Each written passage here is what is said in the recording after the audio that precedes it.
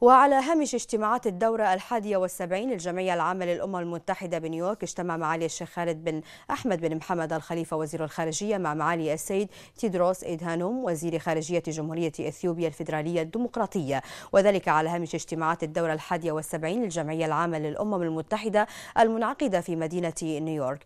وتم خلال اللقاء بحث مسار العلاقات المتميزة بين البلدين وسبل تعزيزها وتطويرها بمختلف المجالات في ظل ما يجمعهما من روابط روابط روابط صداقة مشتركة وتبادل وجهات النظر حول عدد من القضايا ذات الاهتمام المشترك.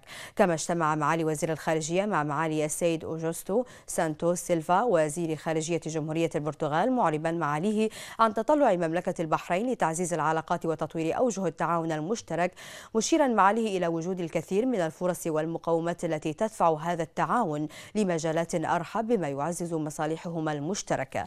من جانبه أكد معالي السيد السيد أوجوستو سانتوس سيلفا حرص جمهورية البرتغال على تدعيم علاقاتها مع مملكة البحرين منوها بما تشهده المملكة من تقدم متمنيا للبحرين المزيد من الرقي والازدهار.